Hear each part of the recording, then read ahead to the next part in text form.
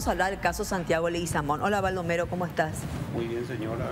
Eh, muchas felicidades para todos los que están presentes. Bienvenido al programa y gracias por venir. Muchas gracias. El agradecido soy yo. Enseguida vamos a contar y vamos a saber qué sucedía hace 31 años. Eh, primero compartir con ustedes este video y este material de esa mañana, Baldomero, cuando Santiago Leguizamón, gran periodista, habla con don Humberto Rubín y él le dice, cuídate. Te pido por favor que te cuides, Santiago. Todavía querés que me cuide. Mucho más que antes ahora. Eh, ¿Vos escuchaste algún dato importante por ahí? Sí, sí. No, no, no es para reírse. Hay dos clases de muertes, Humberto. Una es la muerte material y la otra es la muerte cuando uno abandonó la ética y la voluntad de trabajo. Muchas gracias, bueno. Bueno, y a los 15 minutos sucedía lo peor. Así mismo, la verdad que esa mañana temprano yo había salido, ¿verdad? Tenía una directiva porque en ese entonces meses teníamos formado lo que era la revista Murucuyá. Y en busca de una publicidad habíamos, habíamos eh, salido, era una, a 50 kilómetros más o menos de Pedro Juan. Y prácticamente ya eh, llegué sobre la hora. Eh, generalmente yo, la directiva, eh, él termina Puerta Abierta, se llamaba su programa, a las 12. Yo en ten- Radio Burucuyá de Pedro Juan Caballero. Pedro Juan Caballero. Eh, en ese entonces terminó él su programa, yo aún no había llegado y me atrasé como cinco minutos más o menos. Él ya estaba dentro del vehículo ese día, Sí. en posición a salir. Yo llego en la moto, me estaciono y, y le digo, o sea que intenté para subir al lado de él y me dijo, no, vos no te vas a ir conmigo, o sea, y Marciano me dice, que era su operador en ese momento. Y me, me reí nomás de él y le dije, ¿eso es un chiste? Le dije, no, le voy a llevar a andar, seguramente está cansado, me dice. Es porque si vos tenías que ir conmigo, vos ya sabes cuál es el horario que tenía que estar acá y no llegaste ahora, entonces. Y bueno, le dije. Y yo vivía ahí en la radio, en la parte del fondo. 21 años tenías, era 21 un años. joven- muy jovencito.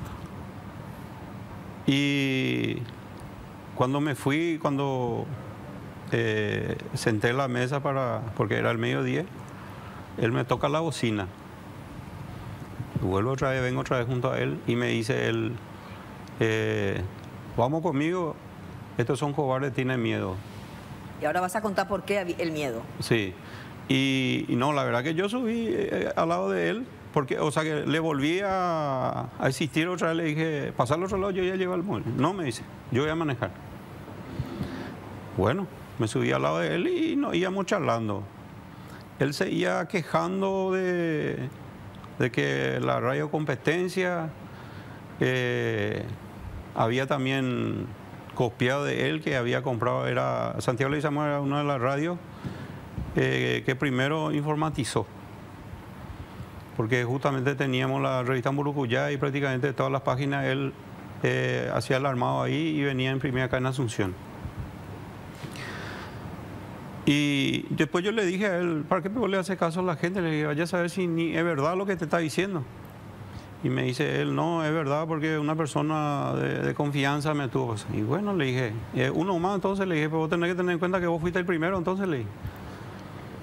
Pero él no estaba, no estaba bien, no estaba tranquilo. No estaba tranquilo. Entonces yo le dije, Santiago, ¿no te va a molestar si recuesta un poco el asiento? Le dije. Sí, no hay problema. Entonces yo recosté el asiento y no iban. Y vos te acostaste. Sí, yo recosté el Pero asiento. se te veía igual por la ventana. Sí, no, yo un poquitito más Sí. recosté. Como él es mi superior, eh, yo creo que demasiado mal iba a quedar que yo estire el asiento y Sí.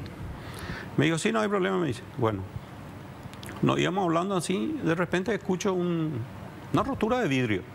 No disparo, no Mm. tiro, nada, yo no escuché. Yo escuché solamente el- que se rompió el vidrio. Mm. Ahí yo levanto mi cabeza así y le miro a él, él me mira a mí, pero eh, es, es tan rápido lo que pasó.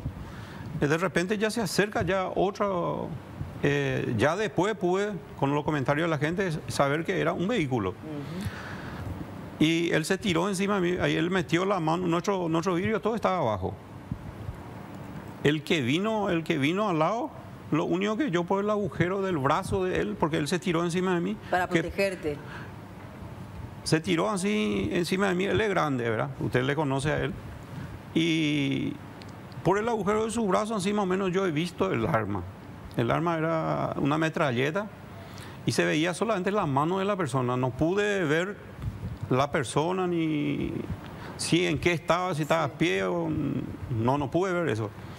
Se fue esa persona, pero durante el disparo él empezó a gritar, ¿verdad? Acordando de su mamá. Y ahí es donde él me dijo en guaraní, para correr, me disparar, me dijo, ¿verdad? Yo le dije, no, tranquilo, le. Es disparar de llama, no te da. Ella salvan de me dice. Ay, qué fuerte. Entonces,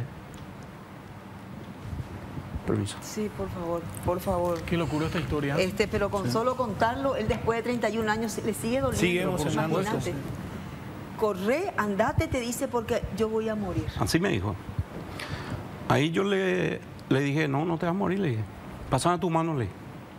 Y quise sacar así a donde yo estaba en ese momento y eh, no pude, se trancó su cinto por el, por el, por el cambio. Y ahí nuevamente aparece otra otro grupo otra vez. Eh, yo tratando de sacarle de ahí adentro. Y empieza el disparo otra vez. Ahí yo me tiré en el suelo porque venía por lado de él. Yo estaba al otro lado. Me tiré en el suelo, terminó el disparo y yo me levanté. Yo me levanté y alcé la mano como más o menos entregándome, pero sin mirar hacia donde más o menos ellos estaban. Y como no me hizo caso, yo corrí. Corrí, me, me, me metí a 50, a 30 metros más o menos del lugar. Había un yuyal, me metí ahí, salté en una muralla y entré en una casa ajena a refugiarme. En ese, en ese momento la empleada me, me recibe con un, con un pedazo de hierro pegándome para gritando, pidiendo auxilio. No sabían quién era este hombre. Eh, No, estaba todo sangrentado. Yo tampoco sabía que yo estaba, que no estaba herido. Entonces entré, yo lo único que quería encontrar más otra salida para seguir corriendo. Entonces eh, seguía el disparo. Seguía el disparo. Y después yo de ahí nomás corrí otra vez, salí, salí, pero ya por el portón, ya no, encima de la muralla. Y le veo a él fuera del vehículo, a dos metros más o menos de su vehículo, eh, tirado así en el suelo. Me voy corriendo junto a él. Le hablo, no me, y le, me acerqué a él y me arrodillé al lado de él y he visto que su cara está todo quemado, ¿verdad? Porque él usa barba, bigote, Sí, sí. está todo quemado. Y ahí yo le agarré de su remera, porque tenía una remera en ese entonces, y le hablo. Y cuando yo le agarré, le sacudí encima más o menos para decirle que, o sea, diciéndole más o menos que, que me diga algo, se tapó la parte de la cabeza, unas partes, eh, donde recibió a, a quemar ropa prácticamente el, el disparo ese. Ya estaba sin vida él. No, él ya estaba muerto. Claro. Eh, Entonces, ¿por, por qué decís eh, quemado? No, eh, se veía todo quemado, la barba es como usted quemado más o menos con... Por el disparo a Ah, corta disparo. distancia. Y yo tengo entendido que fue a quemar ropa, por eso él prácticamente... él Estaba en esas condiciones. Estaba en esas Sí, sí, condiciones. se acercaron hasta él para matar. Baldomero, ¿ustedes sabían de la amenaza que él tenía o, so- o él se guardaba para sí eso? Mira, la, la- esa es una larga historia, ¿verdad? Retrocede Que un poco tu historia. es una larga historia donde, por ejemplo, eh, pocos meses, meses después, antes que a él se le, se le matara, ¿verdad? Él siempre recibía amenazas porque él siempre me, me comentaba así, pero ya después, o sea, después de mucho tiempo que yo ya estuve con él porque yo escuchaba por los pasillos, así que la gente eh, comentaba, ¿verdad? Porque él hablaba de narcotráfico. Eh, De, de todo un De poco. todo. Hablaba de, la corrupción, daba nombre, daba Eh, apellido, daba todo. Contrabando de ganado, de Sí, soja, de vehículos, de droga. De todo, él, él, él trabajaba como corresponsal del diario Noticias, Canal 13, hacia Pedro Juan. Y Canal 13 es que le van para trasladarlo a él. Llamaron a una ambulancia, a la policía. ¿Cómo hicieron en ese momento? Bueno, en el momento, bueno, yo- como me dijiste, retrocede un Ay, poco la historia, sí, ¿verdad? Estamos saltando todo. Entonces, él, eh, un- una oportunidad, yo me acerqué a él y le dije, Santiago, ¿por qué la gente me dice que vos eh, andás en peligro, eh, siempre estás amenazado? Le dije. Y me dijo, ¿dónde escuchaste eso? Me dijo. Y por ahí nomás la gente me comentaron, le dije. Me dijo, no voy a poder ocultarte esa parte. Me dijo, es verdad. Me dice, pero no, no te vayas a preocupar porque desde que yo pisé acá a Mumbai, eh, yo recibo amenazas, me dice. Y no vaya a tener miedo, me dijo, porque el que, el que ladra no muerde, me dice. O sea que él no creía que le iban a matar. No. Y después yo le dije a él, bueno, por lo menos nada, vamos a hacer algo, le dije. Yo tengo un arma 38, le dije. Y el que va a venir, tenemos que hacerle frente con algo más grande. No sé, comprar una escopeta, un- no sé, algo que no, no sea un, un 38, le dije. Y me dice el carapé, me dice, ¿para qué peor querés esa, esa arma? Vos sabés que yo en mi vida nunca le he matado a nadie y tampoco quiero que vos le mate a nadie. Entonces, ¿para qué vos me tenés atrás de vos si es que estamos en peligro? Le dije. Y me dijo, yo lo único que te digo, lo que vos, el día que a mí me pasa algo, a vos no te va a pasar nada. Ese siempre él me dijo a mí.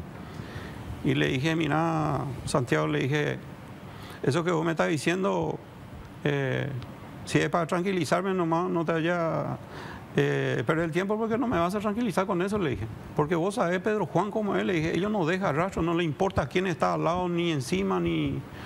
Ellos son jodidos ahí. Baldomero, eh, 31 años después, ¿cambió algo Pedro Juan? ¿Sigue siendo esa tierra de nadie que era en aquella época que Santiago denunciaba? ¿O, se- o es peor hoy día? Mira, O lo peor de todo, creció. eh, mira comparando el, ese 31 día, eh, años antes con la actual, eh, yo lo único que puedo notar ¿verdad? y sentir, porque todos los días vos estás viendo eh, personas muertas, asesinadas, atentados, es como que creció esa parte en la frontera. ¿Y para qué vamos a irnos lejos? Acá en Asunción mismo también ya Sí. estamos así, ¿verdad? Entonces uno ya no sabe eh, en qué momento va, va a salir, en qué momento va a regresar, ¿verdad? A ver, Baldomero, vamos a retroceder otra vez, nos vamos a ese día. Y Vamos a ir al, al día, hace 31 años, 26 de abril. Eh, ¿vos, 26, bueno, nosotros salimos, vos hablás con él. Yo hablo con él. ¿Cómo eh, pedís ayuda? ¿Alguien viene a ayudarlos? En ese momento, Sí. en ese momento cuando ocurrió ahí, no. Nadie no estaba, no se veía, nadie. Yo miraba por todos lados, pedía ayuda, nadie ni, ni se asomaba al lugar. Lo que vino era una motocicleta que estaba viniendo, donde yo le salí, le cerré el paso, ¿verdad? Pero no era para otras cosas, quería que me auxiliara. Y me dijo él, te lleva mi moto, pero no me vaya a matar, me dice. Creyó que era un ladrón. Sí, le dije, no, yo no. Yo lo que quiero es que me lleve la delegación, le dije. Porque en ese entonces era delegación en la policía. Y me dice, eh, él, o sea que ya no me dijo más nada, yo ya salté ahí en su asiento y nos fuimos. Cuando nos estábamos yendo, eh, yo he visto una patrullera que cruzó la otra calle. Entonces yo le dije, acá, acá, entra, acá, ahí he visto una patrullera que se estaba yendo. Le seguimos a él, le paramos a ellos y le dije, ¿usted se está yendo ahí donde se le mató a Santiago? No, me dice, nosotros estamos yendo a otro lado. Le dije, bueno, y vamos entonces ahí, le dije. Salté yo la carrocería, le guié a ellos, llegamos hasta el lugar. Llegamos ahí en... ¿Dónde estaba Santiago? Él tirado ahí y nadie estaba. Nadie, seguía solo, ¿eh? Se- nadie estaba ahí. Y entonces, ¿qué hace el policía? Me dice, bueno, vos te vas a quedar acá. En guaraní me dijo, "Después te ave, ani que yo digo, ahí está, ahora otra lo yo". Se fueron y me quedé yo otra vez ahí en el lugar. Minutos después llega la... eh, lo primero que llegaron son la Policía Civil de Brasil. Porque cruzamos, yo he visto que ellos venían de ese lado. Los, los que lo mataron. No, no, no. ¿Quiénes? La policía Ah, la brasileña. policía. Sí, de federal. Sí. Cruzaron ahí sobre el- la tierra de nadie y cruzaron y se quedaron ahí y pasaron a pie. Eh, al llegar ellos llegaron unos cuantos que era, estaba de traje, no sé de dónde salieron ni quién son. Detrás de ellos ya llegaron ya la- los militares. Primero llegaron los militares, después la policía. Entonces ellos empezaron a decir, eh, bueno, ¿quién es, ¿quién es lo que estaba con él ahí? ¿Quién está ahí? Y yo le dije, yo estaba con él. Bueno, llévele. Me agarraron y me llevaron a la, en la delegación. Para hacerte preguntas. No, ¿qué pregunta? Me metieron ahí, me, deten- me Te detuvieron. Sí. creyendo que vos te formabas parte de algo. Y más o menos así lo que me dieron a entender, ¿verdad? Y bueno, yo me fui. Estuve ahí desde la, ponerle 12 y cuarto, ponerle y media aproximadamente. Hasta las 5 de la tarde yo estuve ahí incomunicado. Eh, yo pedí eh, hablar con los familiares de Santiago, ellos no me permitieron. Yo le, le dije también a ellos, ponga custodio detrás mío, yo quiero irme. Pero los Por- familiares de Santiago, ¿dónde estaban? Ellos toda Asunción. En Asunción. El- En Pedro Juan no había nadie. No, no. Ningún Ah, pariente de No, Santiago. nadie. El- vamos a decirle a un pariente más cercano, por más que no seamos parientes, soy yo ahí. Mm. Después lo personal es los funcionarios. ¿verdad? Y después yo le dije a él, yo necesito, y ahí él no tiene pariente acá, nadie le va, le va a estar gestionando. Yo necesito, por favor, que me... No había caso. Después, tipo las 5 de la tarde, se presenta ahí el señor Celso Velázquez, diputado liberal, me acuerdo muy bien de él. Y él, él, se, él pide hablar conmigo. Me preguntó qué fue lo que pasó, yo le expliqué y él ordenó para que me liberen. Yo le llevo a él conmigo. Al diputado. El diputado me lleva con él. Sí. De ahí nosotros ya directo eh, ya pasamos a la fiscalía, al juzgado, para declarar. Eh, tipo las 7 por ahí terminé yo mi declaración. Eh, la policía me alza otra vez la, la patrullera, me lleva y me deja ahí enfrente de la radio. Y se marcha ellos, yo entré ahí. Ese día me duró 48 horas un día, no era una noche, no era los 12 ni 24, ¿Estaba son solo vos 48. ahí? Yo solo nomás, En la radio. en la radio, yo y mi señora. Y Ya no había ningún otro empleado. no, nada. no, no, no, nadie, Todos. nadie. ¿Por qué dice que la- le duró 48 horas esa noche? ¿Qué pasó? Porque la amenaza que yo recibí esa noche era impresionante. Porque cada desubicado, cada loco que pasaba, o sea, que llamaba en línea baja, yo pensando que podía ser uno de los parientes, alguien, porque yo todavía no, no tomaba eh, comunicación con ellos para saber qué pasó, yo no sabía ni qué pasó con Santiago, con nadie, yo acababa de llegar en la radio, yo con mucho miedo no, no, no quería ni salir ni ir en la casa de los parientes, nadie. yo entré a la radio y ahí me encerré todo, puse una mesa, Debajo de esa mesa puse una alfombra así donde yo tenía que quedarse y puse un- una sábana encima de la mesa así donde estaba hasta el piso. Y le dije a ellos que de ahí no se mueva. A tu señora. Y a mi hija, una de dos años. Entonces yo me quedaba ahí en la puerta y cada tanto recibía llamadas. Y se reían, cortaba, me dice, te voy a ir a volar la radio, no te moriste. Y cortaba, después sonaba el teléfono, ese teléfono antiguo, el vinilo ese, sonaba que, como una campana y no quería también dejar de no atender porque por ahí podía ser Y mientras tanto, abajo una mesa con una sábana tapada, tu Sí. niña y tu señora. en ese entonces. Y, y yo así todo ensangrentado, yo no me bañé, no podía entrar. Para mí parece que alguien me iba a atacar ahí. Bueno, pasó, por suerte, por fin amaneció. Tipo las 6, las 7 de la mañana vino otra vez el diputado. Me dijo, eh, porque yo estaba así todavía, y yo le dije, le, le comenté por qué no, no estaba bañando, que yo era el temor que alguien entraba en ese momento ahí y si él me podía custodiar la entrada y que yo me iba a bañar un poco. Y me dijo, sí, no hay problema, voy a pedir. Llamó la policía, Eh, vino, eh, yo me bañé, me preparé, me dijo, vamos a hacer reconstrucción del hecho y yo te voy a llevar conmigo a Asunción. Y prepara nomás ya tus cosas. Y bueno, le dije, me bañé, le dije en ese entonces a mi señora que prepare la poca ropa que pueda llevar lo más útil porque vamos a ir en un avión chico y no tiene espacio para llevar muchas cosas.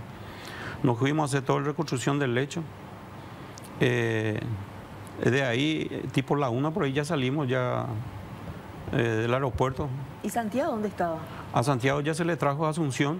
¿Cómo le Eh, trajeron? eh, tengo entendido que el señor Cristian Torre, el director de Diario Noticias, así también del Canal 13, eh, a quien también le debo mucho porque en su momento me ayudó muchísimo también. ¿En qué te ayudó, Cristian? Y económicamente, Claro, porque vos te quedaste sin trabajo. sin trabajo prácticamente y el problema era para conseguir el trabajo, porque todos sabía de dónde yo venía, porque tenía que preparar tu currículum. Sí. Y era muy difícil. Él me consiguió, eh, me metió en el diario Noticias y gracias a él pude también salir adelante. Pero el problema principal empezó ahí por el tema de la amenaza, que todos los días me amenazaba, yo ya no estaba tranquilo, yo tampoco quería compartir esa amenaza con nadie para no quebrantarle a mi familia. ¿Cuánto dura ese calvario tuyo? ¿Cuándo vos decís puedo estar tranquilo, estoy en paz? Y a tres años después. Durante Tres tres años. años. sufriste todo eso permanentemente. Permanente. Es ponerle en la semana una o dos llamadas sí o sí. ¿Qué te decían en, en las llamadas, Baldomero? Y te decía que, ¿sabes qué? Vos hablar, eh, tenemos, no te vayas a preocupar que vos vas a ser el último. Y ya te empieza a citar los nombres de tus familiares. Saben todito. Es una... Y vos sabías quiénes fueron los que dispararon y todo, ¿verdad? No, no, yo no le conozco a ellos. Yo no, no le llegué a ver a ellos. No los llegaste a ver. No. Así como yo te digo, yo estaba debajo donde él empezaba a disparar. Eh, cuando yo estaba ahí en el suelo acostado otra vez. Lo único que te puedo decir que el primero que vino, vino en vehículo y lo, lo demás vino en moto. Ahora yo pregunto una cosa, eh, en esa época, hace 31 años, eh, se hablaba, había, este, algunos podían hablar y tenían libertad de expresión, como don Humberto, que fue siempre un valiente, otros tenían que callarse. Hoy, ¿cómo ves vos hoy el periodismo? Eh, que todos hablan, todos pueden, hacen trabajo de investigación, se dan nombres, se dan apellidos. Hoy día se trabaja más en, libertad, digamos, ¿verdad? Ya lo único que, que no cambiaron hasta hoy día que yo veo, y creo que vamos a seguir unos tiempos todavía así, el tema de la justicia.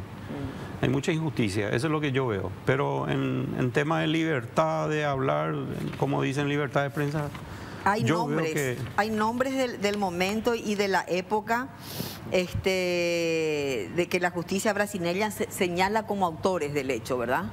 ¿Y vos qué pensás? ¿Los verdaderos autores del hecho, después de 31 años, están presos? No, hasta donde yo sé, todos ya se murieron. Pero eh, no por este caso de Santiago Leguizamón. Ellos son un matón a suelto donde se le contrata y a veces le sale bien el trabajo, en otros sale mal y así se van liquidando de a poco y se va muriendo todo. Tengo entendido que la mayoría de eso está... ¿Cómo era Santiago? Santiago era una persona eh, muy especial. Eh, yo la verdad que hace años que le conozco a él en vida, porque él se fue en el- a colocarse en el barrio donde yo nací y crecí ahí. Y Santiago es, es un muchachón. Él nunca eh, se presentó que él es el jefe, que él es el patrón, que él es la radio. Él es una persona muy humilde.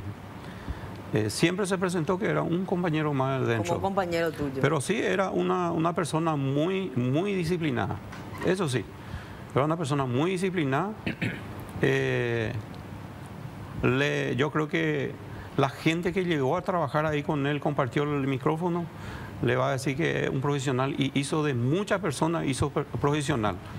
Porque en ese entonces yo me acuerdo bien, me dijo, eh, él no me dice mi nombre, él me dice mi apodo. Mm. Carapé me dice... Por carapete decían nada más. Sí, Carapé me dice, vos vas a ser uno de los tantos que yo ya enseñé acá, me dijo. Y le dije, ¿por qué me decís eso, Santiago? Le dije, no, y acá la gente viene, esta es una escuela, aprende bien, después se, se va a otra empresa, a otros lugares. Y, y le dije, mira, Santiago, le dije, yo no puedo saber lo que puede pasar mañana, le dije, pero por lo menos hasta hoy yo te puedo decir que estamos trabajando juntos y eh, que me, me gusta la forma que nosotros trabajamos. Te protegía, era un hombre que te... Sí, que no, te siempre ayudaba. él, eh, justamente, él construyó una casa ahí en el predio de la radio, porque cuando yo empecé a trabajar con él, eh, yo salía tarde, tipo las 11, las 12 de la noche, porque yo tenía que apagar toda la radio del transmisor, porque hasta las 12 nomás estaba. Y tenía que irme a mi casa. Y después de una oportunidad, él me dijo, si él me construía una casa ahí en el predio, en el patio, si él, yo me animaría a venir a vivir ahí. Yo le dije, "De luego que sí, le dije, sí. Yo vivo en alquiler, le dije, te voy a agradecer un montón, le dije. Menos de un mes. Estaba sí, la casa. Estaba la casa, Lo yo me mudé. con mucho cariño, Baldomero. Sí, totalmente. Hasta hoy. Hasta hoy día. Y después, bueno, nosotros hablábamos, él se quedaba hasta tarde, la gente ya se iba todo, nosotros ya cerramos toda la radio, él seguía con su tema de revista, después yo le acompañaba otra vez en sus piezas y hablábamos. Era como un amigo. Eh, un amigo, un padre a la vez también para mí. Y después era que vino, se hizo ese, ese tema de las publicaciones. Y me acuerdo bien, una tarde, tardecita, en noche ya, dijo él, bueno, Carape, anda a juntar tus cosas, pero ya no más, no vamos urgente de acá. Ya había amenazas fuertes No por la publicación que por salió. la publicación. Sí. Una publicación muy fuerte unos, unos días antes. Yo creo que alguien seguramente le llamó. No, no sé qué pasó ahí. Y después yo le digo a él, ¿por qué, por qué Santiago, qué pasó? Le no, no, no haga preguntas, haga lo que yo te diga. Y él le no, pues, ¿por qué yo tengo que ir? Yo no tengo nada que ver. Me dijo, eh, Carapé, hace nomás lo que yo te digo. Yo no quiero que nadie venga a jugarte en mi ausencia. Bueno, yo me fui, traje un par de ropa y nos fuimos eh, hasta la terminal. Él le llamó a los periodistas que estaba instalado en uno de los hoteles ahí en la frontera. Le dijo que nos encontráramos ahí en, en la terminal y que íbamos a sentar en asientos distintos, diferentes, no sentar todos juntos.